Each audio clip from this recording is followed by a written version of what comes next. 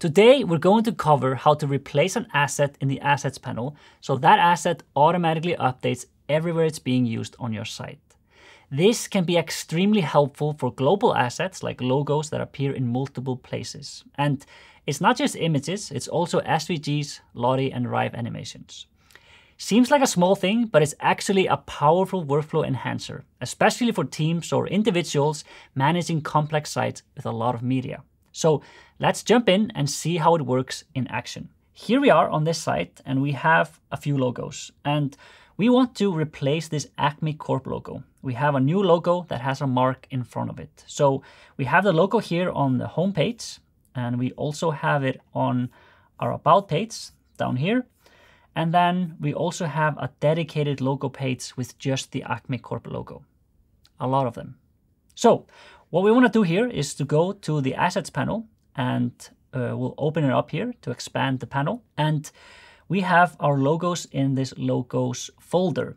And here we have our Acme Corp logo. But before you do that, make sure you have a backup of your current image somewhere, whether that's locally, in the cloud, or even in your wallet. Wherever it is, because once you replace it, it's not available in the assets panel anymore. The only way to get back the logo that you're going to be replacing is to go to the backups over here. And then you can restore whatever backup you've set up already. But keep in mind, just a good practice to have backups of your stuff. So we'll go back to our assets panel here. We'll navigate back to our logos folder and back to our Acme Corp logo. And what we're gonna do, we're gonna click these three little dots and we're going to replace this logo.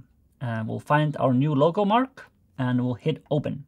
And in the back, you can see our asset was successfully replaced. We'll close it out here just to see it a little bit better. All the Acme Corp logo was replaced on our dedicated logo page. Let's go over to our About page to see if it was replaced there too. And yes, indeed, it was replaced there. And we'll go back to our home page here. And yes, it was replaced here too. So that's replacing an image. Let's look at another example. This also works for replacing other file types, but there's one caveat here. There's something to note for document file types where you're using the URL. So let's go to our other side here. And what we have here is a link that links to a PDF. And we want to replace that PDF. So we'll go over to our assets panel again. We'll find our PDF and the three little dots.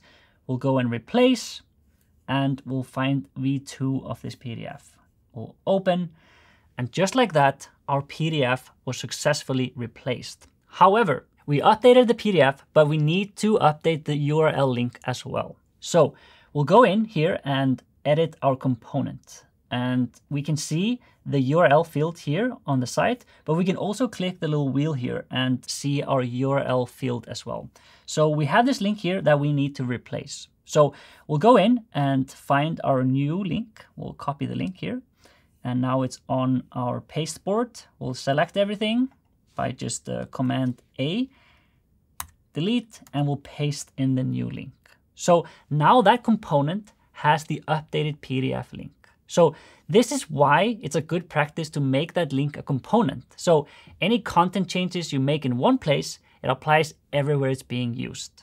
The key takeaway here is that what seems like a small thing can actually dramatically improve your workflow by just allowing you to update assets without the need to dig into every corner of your site while searching for all instances of your asset. You'll simply go in and you replace that asset. So keep up the good work, go and replace some assets if you need to, but most importantly, continue to explore and learn new things. We'll see you next time.